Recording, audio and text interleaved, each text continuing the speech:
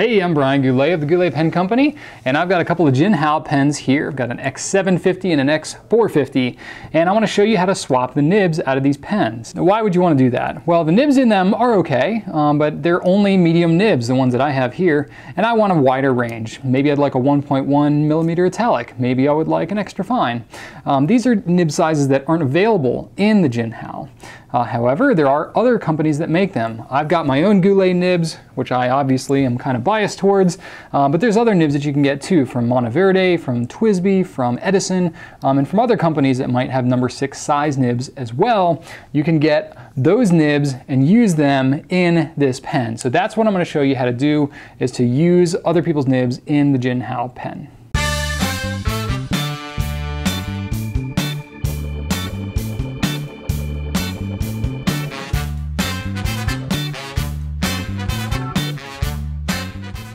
Couple of different Jinhao pens here. I've got the X450, this is the red and gold, which I think is just kind of cool. And then the X750.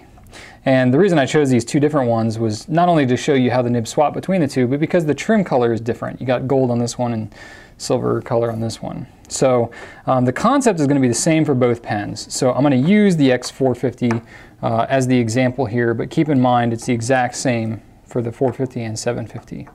Um, it's got a number six size nib, which if you're familiar with that, the Noodler's pens have number six size, Monteverde, TWSBI VAC 700, Edison has a bunch, and then my Goulet nibs, um, which I originally brought in so that you could have a non-flex option for the Noodler's flex nib pens. Jinhao wasn't even on my radar when we developed these pens. However, it was very obvious once we started investigating carrying Jinhao on gouletpens.com that our nibs would fit on here and it was just very natural, like a no-brainer about carrying the Jinhaos so that you know you could even have even more utility for the Goulet nibs. Um, so it's very simple of how you swap these things out. Um, here's the nib, here's the feed. It's friction fit inside the grip of this pen. You don't even have to take the pen apart. All you gotta do is take the cap off, like I have, and then just grab your finger, uh, your two fingers here, your thumb and your index finger. You can flip it around and do it that way if it's more comfortable for you. Me personally, I prefer to do it this way. You want to grab down as close to the base as you can. You don't want to grab the grip because that's not going to get you anywhere. You don't want to grab the tip. You don't, you don't want to bend and twist the tip and stuff like that. So you want to get a firm grip down here at the base of the nib and the feed as far down as you can go. And you pull it firmly and then pull it out. If you have to, kind of rock it side to side, kind of in this motion a little bit. And then it'll kind of loosen it up and then it should just pull the nib and the feed out together, sliding it right out of the grip of the pen. Okay, and then when it does that, the two are just going to kind of naturally separate because there's nothing holding them on there except the friction of fitting in the pen. Okay, so there's your Jinhao nib, which is uh, a medium on this pen. Uh, but let's say I want to make this a 1.1 stub. Okay, so I've got my two-tone Goulet Pens nib. Um, you want to put it in place just like you took off the Jinhao one. If you want to look on the underside, you can see here that the feed mates up to the nib nicely. You want it to be about in that position, okay? So you want the tip of the feed, the two um, shoulders of the feed, I guess if you want to call it that, will meet up. I don't know if that's a correct term, but the, the end of the feed there uh, will mate up about to the edge of the nib. That's going to be approximately where it is. Once you get the thing seated in the pen, it's going to naturally stop you in the right place. Okay, and then once you have the pen, there's got these kind of triangular grip things going on here. Those don't really help orient you too much because there's three of them. So as long as much as you rotate this pen, it's not going to tell you where it needs to go in. You got to look inside the front of the pen here. So if you look in, oh boy, I hope I can show you. There's one flat part on the inside, and that is going to mate up to the flat part on the feed right here. Okay, so that's on the underside of the feed. So really you can kind of just go by feel because it's not going to fit in the, the pen except in one direction. Actually, you can probably jam it in the wrong way, so maybe I shouldn't say that. But you want to make sure that the flat part that's raised up a little bit inside the pen there will mate up to the flat part that's cut out of the feed. That's really the magic spot that you're going for. And when you do that, it'll fit in there fairly easily.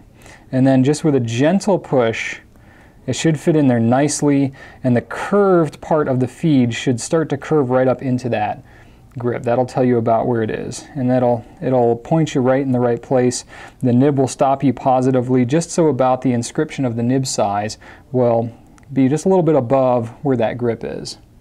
And that is where it's supposed to be. So now you can see it fits in there nicely, and then you ink it up, right with it, you're good to go. So I've got an X750 here that I've got inked up. Uh, I usually don't prefer to change out my nibs when they're inked up, but you're totally free to do that. Um, just give you a little sample here, I've got, oh my gosh, my writing's terrible, but you get the idea.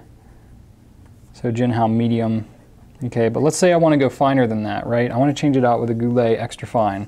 Now you can just use your fingers or a rubber glove or something like that. Me personally, I think that a paper towel is more than sufficient. Um, just kind of do the same thing, grip it in the same place, pull it out. Now keep in mind that your feed is going to be all linked up here, so you want to be careful handling the feed. Pull that nib off of there. Now I'm going to put a Goulet Extra Fine on here. And I'm going to try to navigate it with the paper towel. It's kind of inevitable you're going to get ink on your fingers. But there we go. Did okay. Now the ink needs to work its way through there, so you're going to have to, you know, kind of jostle a little bit. You may want to you may want to actually open up the pen here and kind of force a little bit of ink down through the feed to get that ink flowing again through this nib that now needs to be primed. Or you could fill the pen again, that would be another option, but there we go. I kind of just drowned the feed and the nib a little bit. So we'll see if I can get that going. You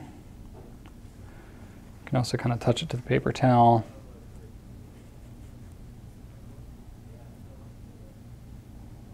Maybe I didn't drown it enough.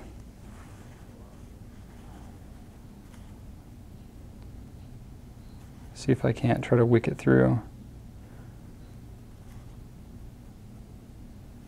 It's usually easier if you just go ahead and fill the pen again. This is why I usually don't recommend drawing or uh, filling from a, sorry, swapping a nib on a wet pen. There we go. Now we're cranking. Okay, so now it's working again. I've got a Goulet extra fine in here.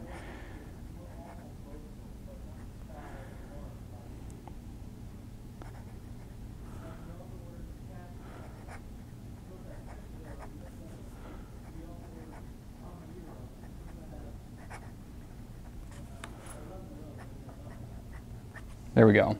So got a little bit finer writing now, swapped out the nib without too much difficulty, even on an already inked up pen. Pretty straightforward. If you have any questions about swapping nibs on the Jinhaos or about anything else with fountain pens, hit me up on Twitter, Facebook, Ink Nouveau, or on YouTube. Thanks for watching today, and write on.